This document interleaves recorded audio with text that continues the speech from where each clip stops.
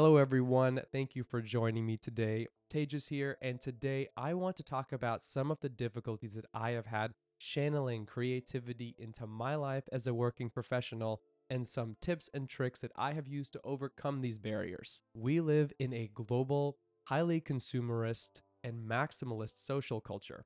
No matter where we turn, it is really easy to consume, whether it be clothing or merchandise or media, entertainment, food.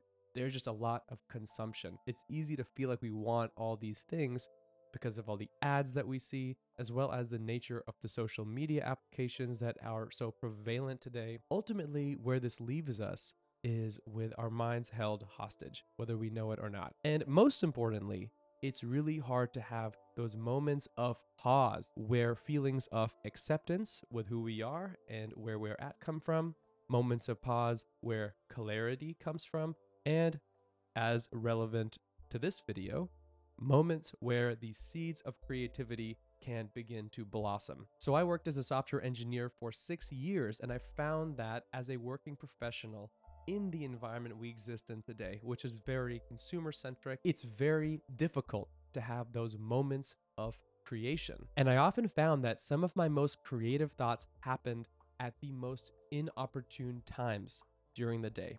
And this would often happen during meetings, or it would happen while I was coding, or on my way to work, or while I was taking a shower. It would usually be times when I couldn't act on these creative thoughts or even really spend a lot of time to write them down. So, my first inclination was that these are attributes of the monkey mind, which is a description of any thoughts or thought patterns that distract you from the main task at hand. I just treated these thoughts as a distraction with the hope that I would be able to exercise creativity or think of creative thoughts after work or whenever I had idle time. And this wasn't initially super effective because I would have a pre apportioned time where I would just list ideas in a journal. Anything that I had meditated away while I was focusing on something else, I would try to then draw upon all that inspiration at one specific time. This wasn't super effective because it's really hard to force these ideas to come all at once. It felt a little too structured for me. And a lot of creativity in my experience is highly unstructured. So all that would remain in my life was the lack of creativity or the inability to focus. But I was so sick of consumption and really felt like this was a problem. So I set out to figure out the best way to be able to capture this inspiration in such a way that I can then act on it later. And in doing so, I found quite a few different ways to capture that inspiration as best as possible, compartmentalize it, and then later act on this. The key is capturing the idea as best as possible upon conception and then being able to go back to that idea later when you have more time. There are three methods I have found that are extremely useful. And the common attribute of all of these methods is that they are very useful especially in situations where you are doing something else. This will allow you to quickly capture those ideas and then resume activities. So, the simplest way that I do this is I just use Apple Notes. And whenever I feel some sort of distracting thought that I find to be creatively inspiring, I will jot down as thoroughly as possible the stream of thoughts that I'm thinking. And once that's done, I just go back to what I was doing. I found this to be extremely effective for allowing me to refocus because I feel like my mind feels relatively reassured once it has jotted down that creative thought to not go back to it at the time. Another option that I use to capture ideas in the moment, especially when I don't have my phone around or it's inconvenient to have it around with me all the time, is I use voice memos on my Apple Watch.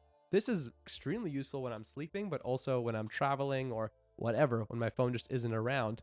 I'll just record a stream of consciousness for however, maybe one to two minutes, just saying whatever comes to mind that I'm thinking about.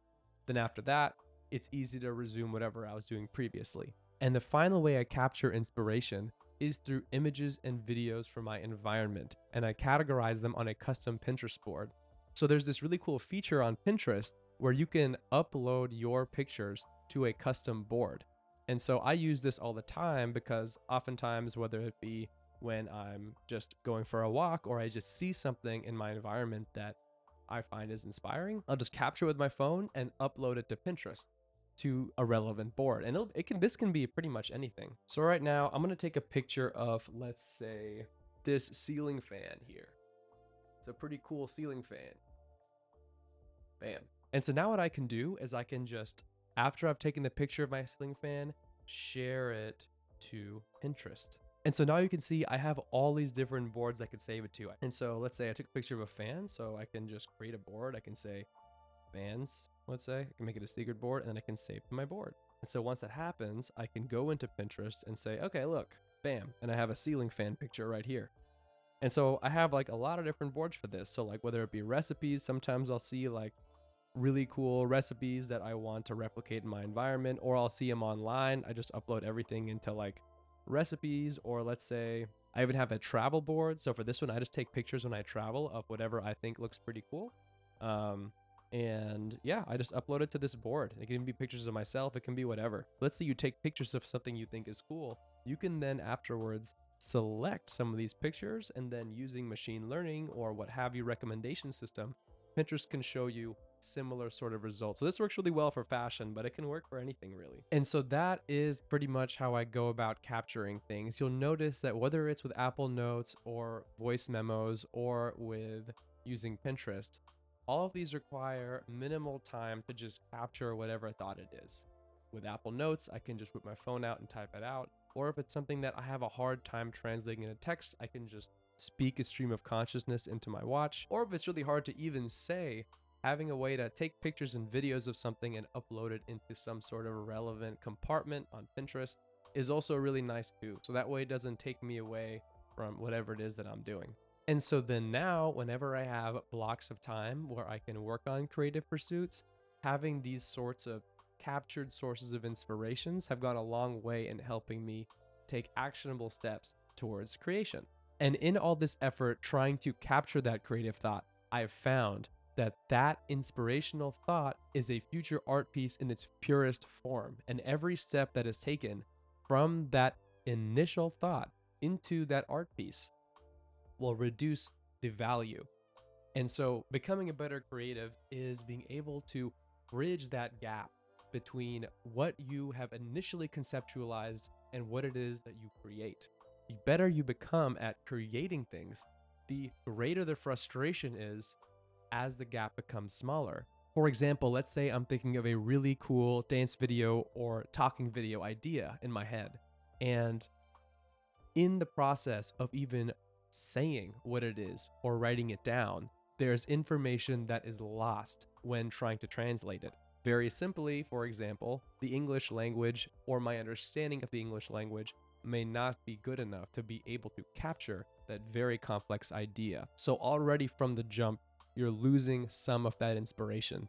And then from there, there is the actual recording, there is the capabilities of the tools that you have, which will then possibly, most likely, degrade or not fully capture exactly what you were thinking further until the point where the final product, though it could be really cool in the eyes of others or even yourself, that difference becomes apparent. And as that difference becomes smaller, it becomes very frustrating to fill that gap. But I digress. I'm still pretty early on as a creative, but I'm really happy that nowadays I can capture these ideas efficiently in a way that doesn't distract me from the tasks that I have at hand, but still be able to act on these great insights that I have in my day to day life when I have time. And that's everything I had to say today. Thank you for listening, and I'll see you next time.